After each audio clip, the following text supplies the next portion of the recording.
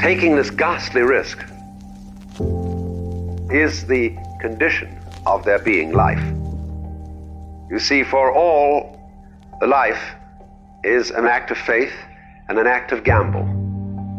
Because you don't really know that the floor is not going to give under your feet. The moment you take a step, what an act of faith. The moment you take a journey, what an act of faith.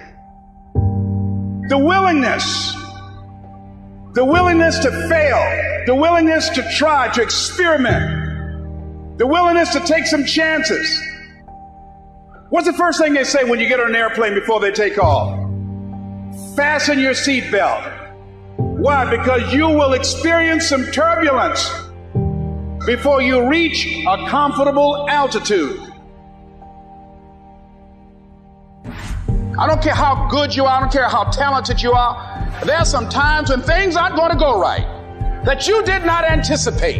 There are times when anything that can happen will happen. And you can either let it destroy your life or you can build upon it. You can permit it to let it hold you down or you can decide, I'm not going to let that happen to me. I'm bigger than this.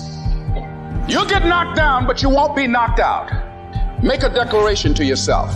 Declare all out war that you're going to get out of this rut. I suggest to you that if you are facing a challenge, don't stop. Continue to move. Stay busy, stay busy, stay busy. Work your plan. It's not easy, but through practice and practice and practice, practice makes improvement. Because what you give is what you get. A true hunter is wired differently. He's wired differently doesn't have the same makeup. There's some of you, there are opportunities that you're like, it's too difficult, it's too hard, nobody can do it. You're not wired properly. A lion welcomes a challenge. As a matter of fact, they don't get excited unless it is a challenge. I lost five aunts to cancer in the last six years. I'm a lion. I'm wired differently. I didn't start crying. I didn't say, why me? I'm not hurting anybody. Why me? I'm wired differently. We turn tragedy into triumph. That's what lions do. Lions don't cry. Lions don't give up. Lions don't quit. Lions hunt. That's what we do for a living. And if you are a true lion, it does not make a difference what the circumstance is. Compelling reasons. While you're here, when you decide to live like a conqueror, what is it that can keep you on the straight and narrow? What are the reasons? Write down five compelling reasons of why you're going to keep your commitment to change your life. Keep your commitment never to go back to the life that you once lived.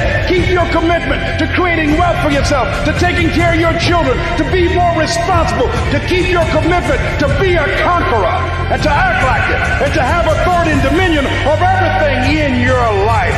If life knocked you down, try and land on your back because if you can look up, you can get up. Your reasons will help you to get back up again. There'll be your rod and staff to comfort you. Take responsibility for your life.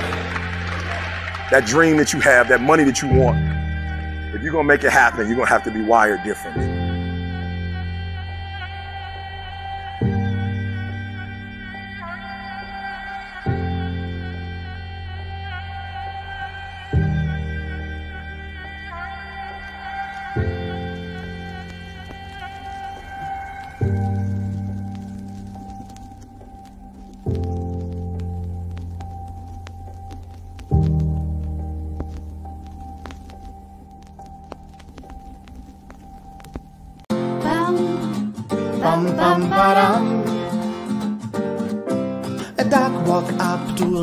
Stand and he said to the man right in the stand, Hey, bum bum bum, got any grapes?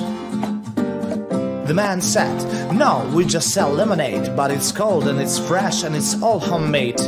Can I get a glass? The duck said, I'll pass. Then he waddled away, waddle waddle, till the very next day.